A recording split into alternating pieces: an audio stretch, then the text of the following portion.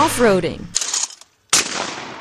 skeet shooting, sit-ups. All things Kent Stephenson found too difficult after a dirt bike accident five years ago left him paralyzed from the chest down. The doctors just told me, you know, this is what you got, and you're going to have to live in a wheelchair the rest of your life.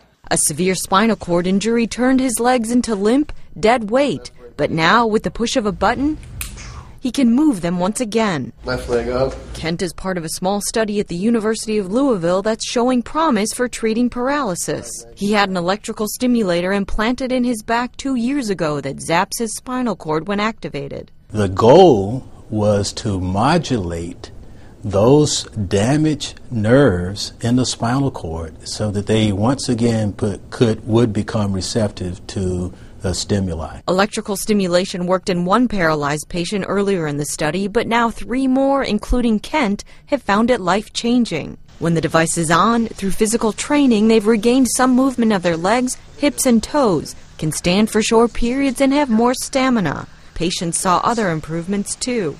It lets me be able to go out and like ride all day with my friends and get out of the wheelchair. And there's been huge improvements in like my bowel, bladder, and sexual function. It's way better, and you know, it's good.